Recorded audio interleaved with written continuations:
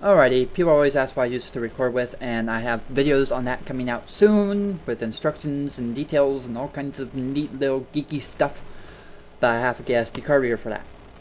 So for now, yeah, I don't know if this is showing up or not. It should show up, but it might not because the way it works. But if it does, I'm using Camtasia Studio, and I'll get into that uh, sometime in the future. But right now, I want to talk about audio levels because it still annoys me that some people recording. Uh, they set their audio levels a little too high. Okay, here's the deal. When you're editing the video, you'll see a waveform. Let me show you.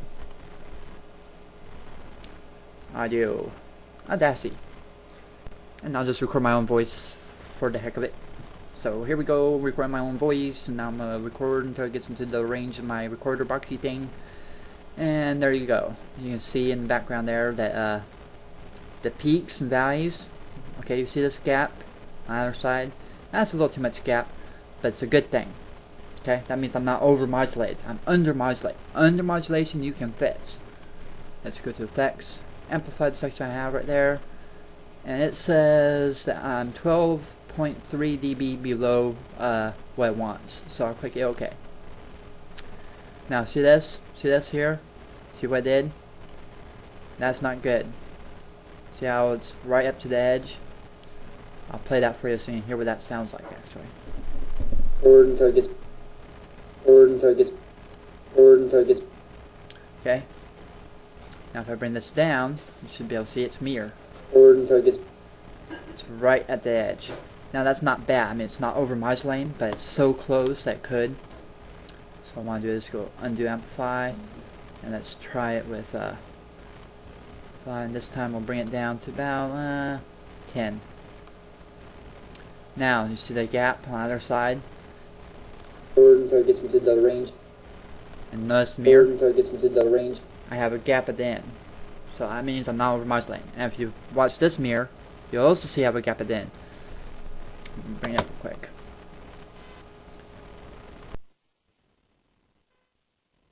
Forward until it gets into the range. Forward until it gets into the range. Forward until it gets into the range.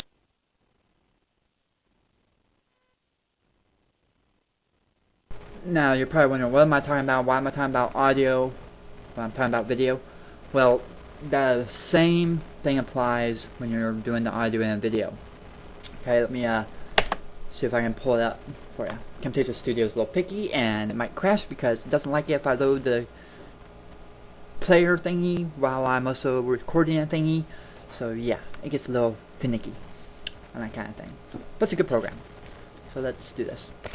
And if you're wondering what I'm doing, I'm playing with the business card while I wait for uh, it to load. Okay, here we go. So I'll import media. Uh, I'm not sure if this is showing up or not or whatnot. We'll do baloops. Just cuz. And we'll bring it down here. And it should pop up and ask me a whole bunch of fancy stuff and I don't care. We'll just say recording dimensions because yeah. Now if you notice, okay, see down here, what's that? What's that? What's that down there? What's that? Huh? What is that? Do you see this? Do you see this? Do you see what I'm looking at? That's the waveform of my video's audio. Now, it's low, okay? So I can up, up it, okay? But if I do this, and now do you see how it's going off to off to the edges? That's not good. If I keep going, you'll see that pretty soon it's like, yeah, not good. Let's go about there. That's about perfect, but his mic tends to crackle just a tiny, tiny, tiny bit if you have it that loud, so I always go boom, boom. Perfect. Now you're thinking, oh, that's back where it was. No, it's not. It's actually louder. It's, it's very minute. Now if I zoom in, see this is what people forget to do. If I zoom in, now do you see? Yeah. Zoom in again. It should always keep a gap, okay? If you're zoomed out all the way, it's really hard to tell exactly how precise you are on your audio levels. Zoom in, take a good look at from beginning all the way to the end. Make sure there's no sudden place where it went, oh my god! Like I just did and went off the scale there. Okay? Now let's get into a way of controlling the audio, and you're probably wondering what this little meter is moving on the screen here. This is the whole purpose of the video. This is a modulation meter. And it's free. I'll pull up a site for you where you can get real quick. I have tons and tons and tons and tons and tons and tons and tons of uh, favorites, or bookmarks, I should say. And here we are. DarkwoodDemons.co.uk. So there you go. Now link it off to the sidebar, which is the same place I think the Neil's going boing, boing, boing, boing. So there you go. another thing you have to remember is uh, when you were talking about audio, audio can build up if there's any kind of reverb or echo or anything. So uh, if you echo, you have to lower the volume because next echo will uh, go on top of the first echo, and then third echo, and the fourth echo, and the louder and louder and louder and louder, just like that. So you gotta be careful of that. And sorry for your ears there. I know it went way off the scale. okay, so what this simply does is it allows you to visually see what your audio levels are doing while you're recording your videos.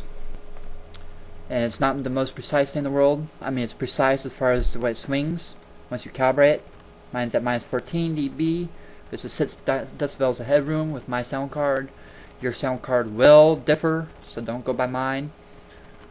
Okie dokie, what you want to do to uh, calibrate is you want to use Audacity like I showed you and you want to do the exact opposite of what I just told you not to do. And that's to make the modulate the waves go all the way off to the side, so it's like way over modulate. And then play that while you look at this meter. And you want to play it back and adjust this calibration until it goes all the way off the scale here, until it goes all the way over and the light comes on. And then back it off 1 dB at a time until it just barely does that. And then voila, you're calibrated. Okay, that's all you have to do. That's the same thing they do in studios. They use wave tone generators to do it, but believe me, over my modulating where it's just static is the best way to go because a, a tone, a single tone, uh, depending on your sound card, can very well differ uh, on the meter. Yeah, it might not max it out even if you like pump it all the way up. So you want to use just around like you talking and then max out so there's a lot of frequency range to it.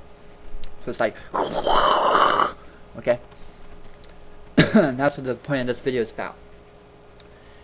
Get this. This thing is a lifesaver.